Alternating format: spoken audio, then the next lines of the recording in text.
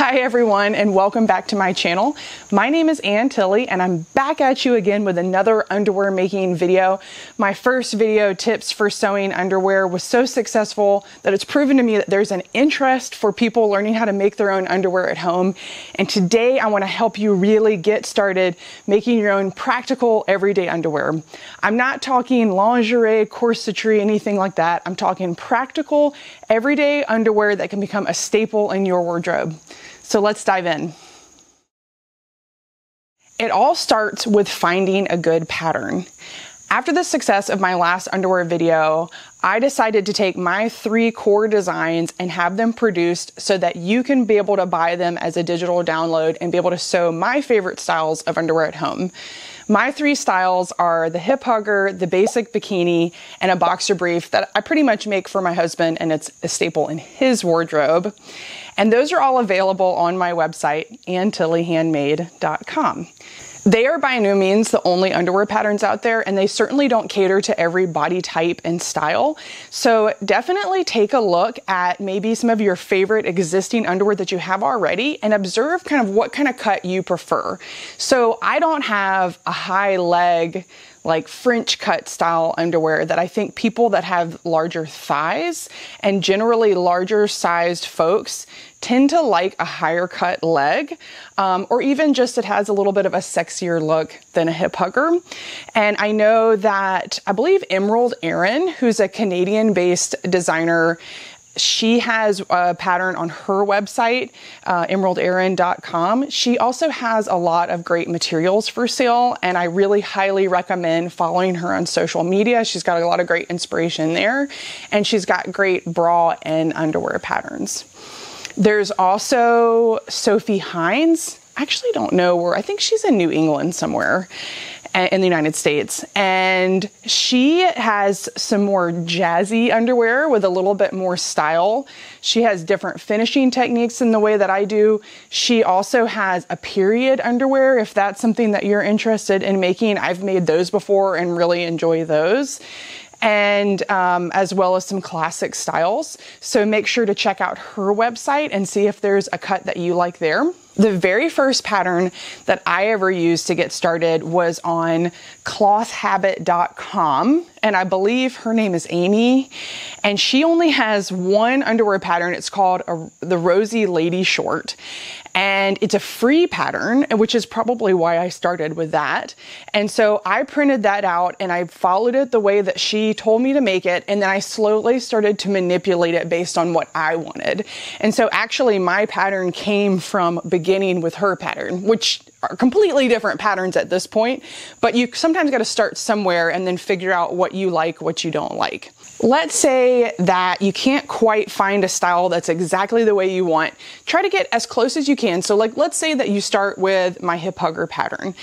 I would recommend cutting out the size that I tell you to cut out, sew the crotch, sew the side seams. Don't worry about doing all the finishing. Just do those quick edges and then try them on over top of maybe your current favorite, you know, ready to wear pair of underwear that you have and compare this, the shape of the two. And maybe even take a marking tool and mark on your first, you know, prototype sample underwear of like maybe how the leg shape differs between my pattern and your favorite pair of underwear. Then when you take that underwear off, you literally have some data for like how you would want to change my pattern to make it fit you better. So that's just like one kind of visual way of changing a pattern. It's not a beginner's thing to do pattern making. It is a skill that you build, but I think you should practice being a little bit more fearless about manipulating a pattern. Um, if you can't find something that fits you the way you want, ultimately, I just don't want you to be held prisoner to existing patterns to really get like the exact style that you want. And, you know, it took me years to really perfect the fit that I wanted. And because it's not like we have all day, every day to make underwear. So I would make a pair, wear them around for a while, think about what I would do differently. Every time I would do laundry, I would look at my store bought underwear and see how it was sewn and what kind of techniques I could try.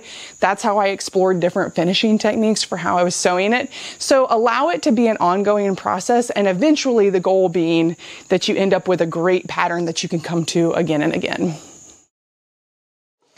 Next, let's talk fabric.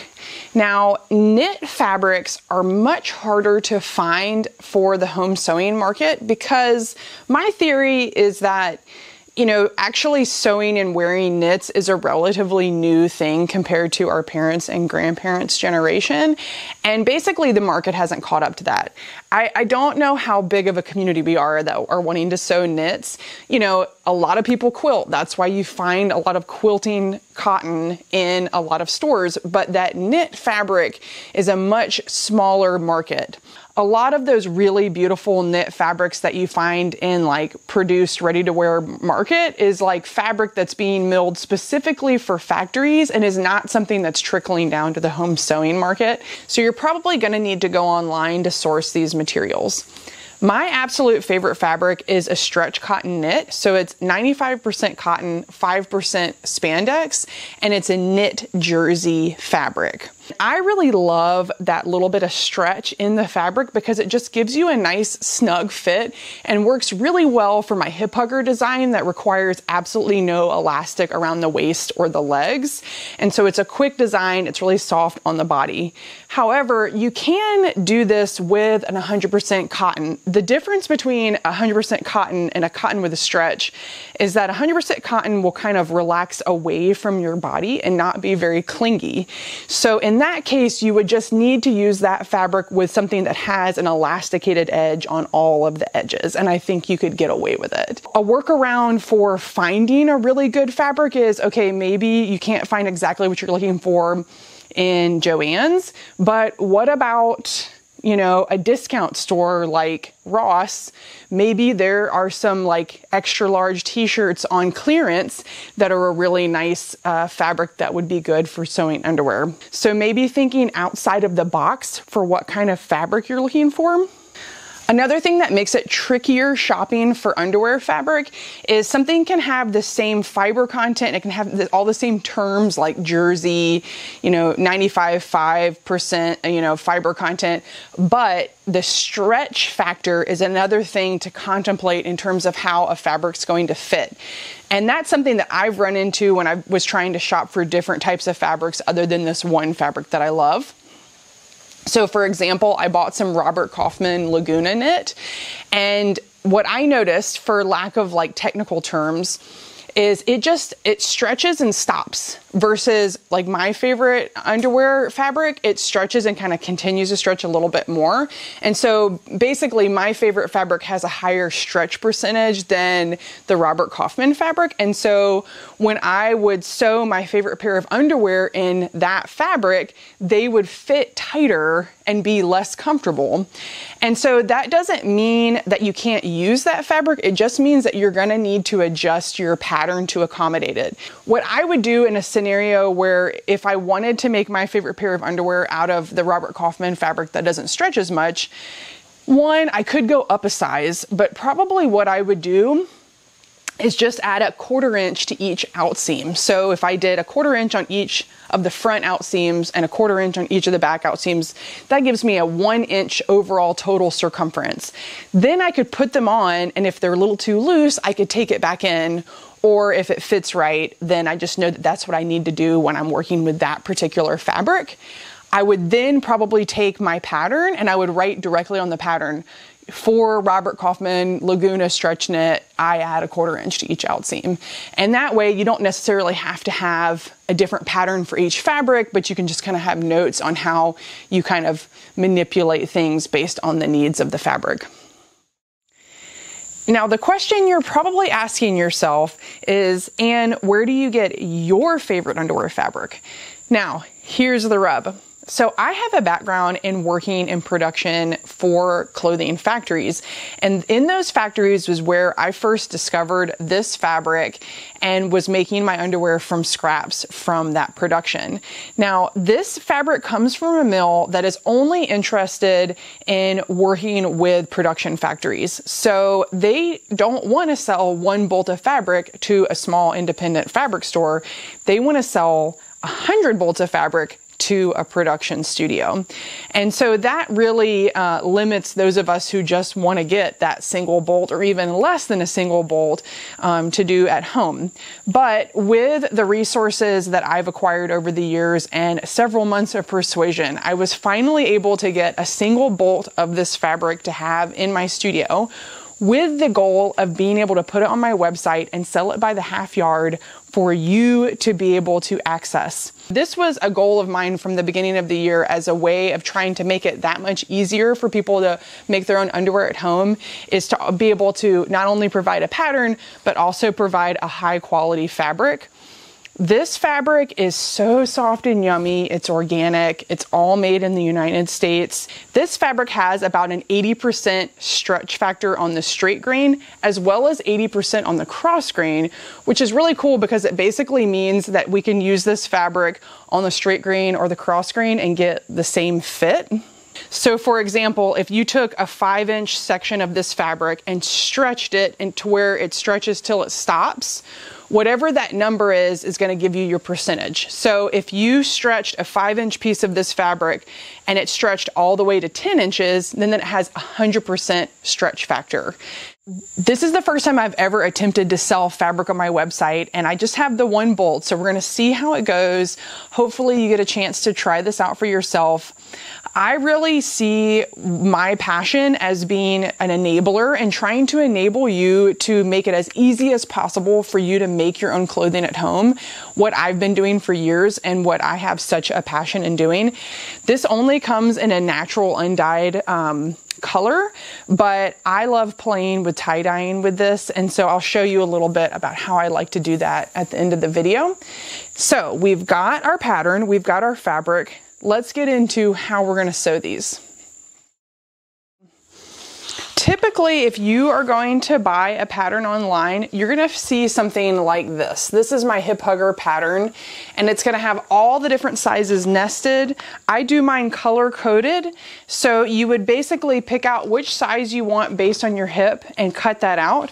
What I've done is I've kept this whole and then I've traced off a single pattern on hard manila paper to uh, my particular size and then I still have all of this in case I want to do a different size in the future. I prefer a, a nice firm paper and I also like to make sure that I cut my pattern open.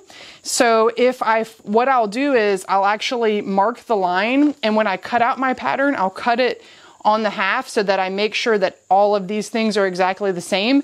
But I like to start with having my pattern piece open, especially because if I'm working with scraps, which historically I've been working with scraps, it helps me just like plan out where my pattern pieces are going to go more easily. What I think I'm gonna do is I'm gonna cut out a hip hugger pattern, a basic bikini, and a boxer brief, and let's see how long it takes me to do that.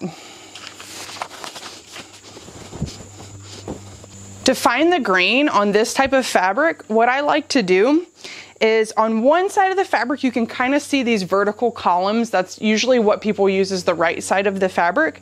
So I'm gonna make sure that that is facing the table. And then I'm going to fold and see if I can visually line up basically what it is is like it's like the columns of the knits. I'm gonna line that up as best I can. I can now put all of my pattern pieces on the fold on that grain.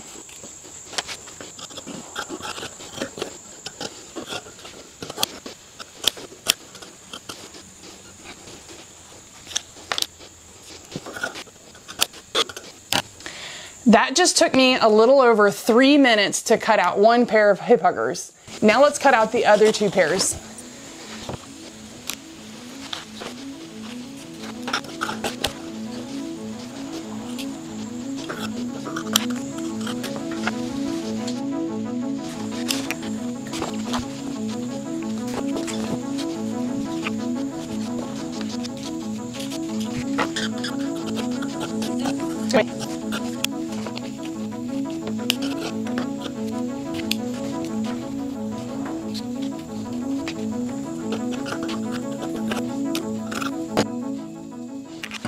So it took me a little over three minutes to cut each of the bikini and the hip hugger, and then about six minutes to cut the boxer briefs. So we're talking not that much time of much of a time commitment to get things cut. Let's see how long it takes me to sew these pairs together. I'm going to sew all of the principal seams for my garments on a serger, but you don't have to have a serger to sew these. You can just use a narrow zigzag stitch. You want it to be a shorter zigzag stitch um, so that it doesn't pop when the fabric stretches. So what I would recommend is taking some scraps and running some stitches and practice stretching them and seeing um, if they hold up. And if you get to where it can stretch within a reasonable amount, and not pop, then you should be good. I haven't made a ton of pairs of underwear with um, zigzag instead of the serger, so I'm not necessarily the expert in that field, but I have made pairs with it and it has worked. Sometimes the stitches pop on me a little bit, but they're still like totally wearable with a couple little pop stitches, or sometimes when they come out of the washing machine, I'll just um, like bring them over to the machine and just repair those little areas. So not a big deal.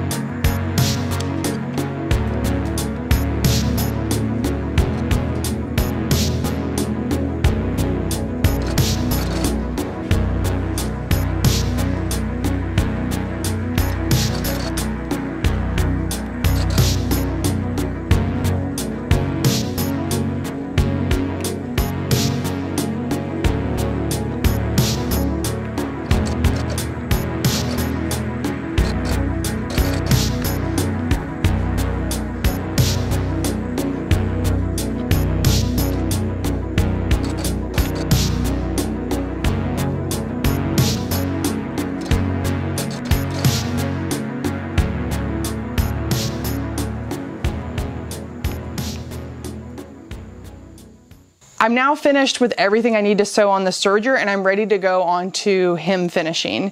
So for my hip hugger pattern, I don't have any elastic. I just need to fold up the edges and sew those down. I went ahead and folded up the leg edges before I sewed the side seams because it just makes it a lot easier. So the top just needs to be folded now and ready to be sewn.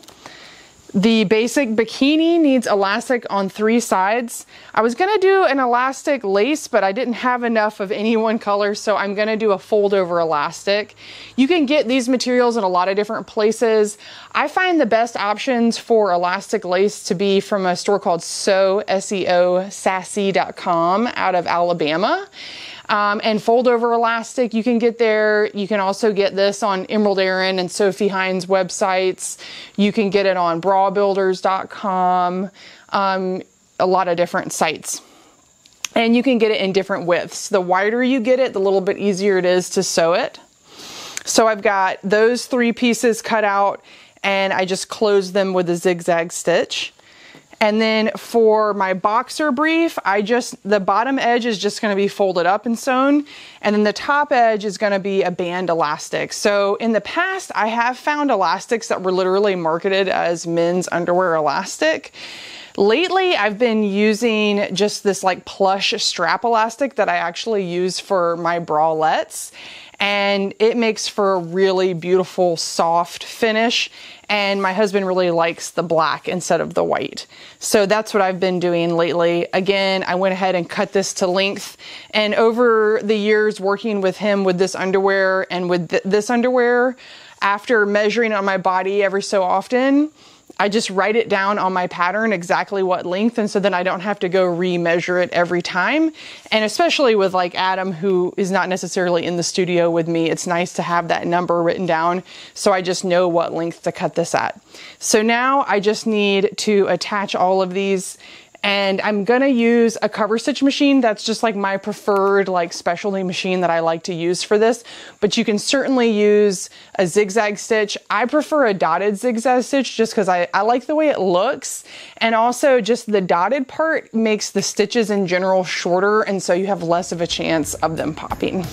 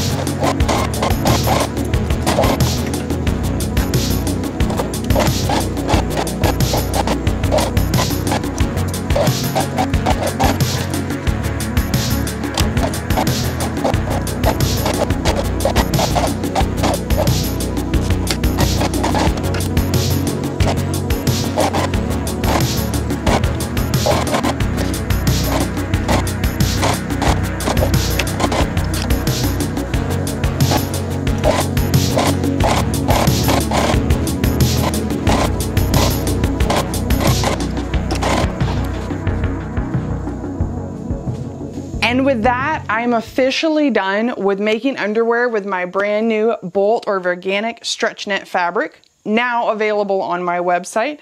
So I've got my boxer brief with my strap elastic band. I've got my basic bikini with fold over elastic edging.